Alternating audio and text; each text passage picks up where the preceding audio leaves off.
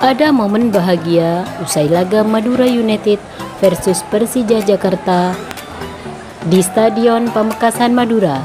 Kiper Madura United Emrido mendapat penonton spesial. Mereka ibu dan istri Emrido. Usai laga, begini momen bahagia yang terekam lensa kamera.